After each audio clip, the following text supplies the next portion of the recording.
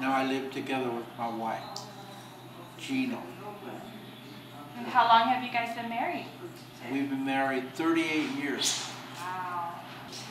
We met at the CAR Center in Palo Alto, a dance where you dance and stuff.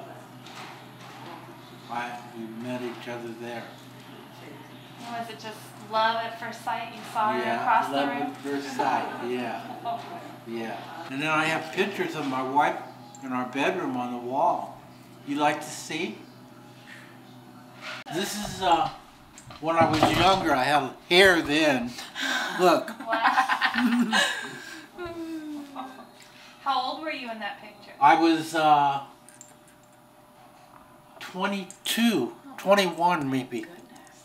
And I then I graduated and uh, I was studying to be a Franciscan brother and it didn't work out. So then I got out and later on I met Jeano. We got married. And this is another picture. This is Jeano when she was younger. Oh, over here. Yeah.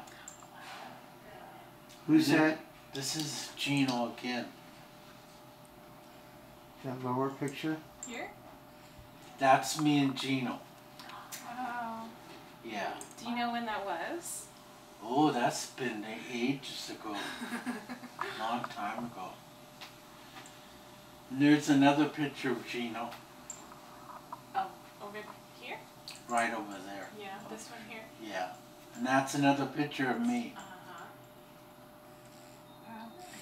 You must love her a lot. You have her all over your Yeah. I wall. do, yeah.